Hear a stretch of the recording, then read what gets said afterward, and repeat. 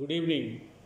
As on today, a total of 724 samples have been sent for testing from the state.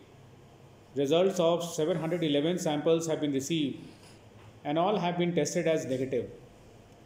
The results for the remaining 13 samples are awaited.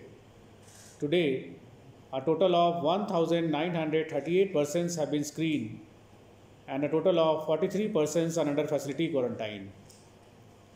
I would like to inform that with the launching of the dedicated Nagaland COVID 19 helpline toll free number 1800 345 0019 yesterday, the earlier existing health helpline numbers will no longer be functional, and all the citizens are now requested to dial the given number for any COVID or non COVID health issues.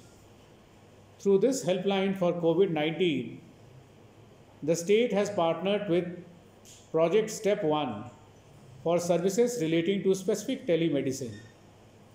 Services available in this helpline also include telephonic counseling in collaboration with all Nagaland Counselors Association, consultation on non-COVID related health issues, COVID Information Center, issues regarding N-COVID Nagaland Visitors App, and grievance redressal related to COVID-19.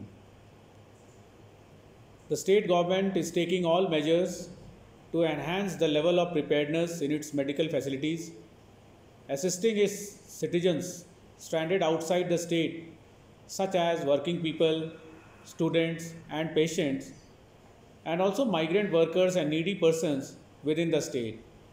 In this fight against COVID 19, we continue to seek your cooperation. Thank you.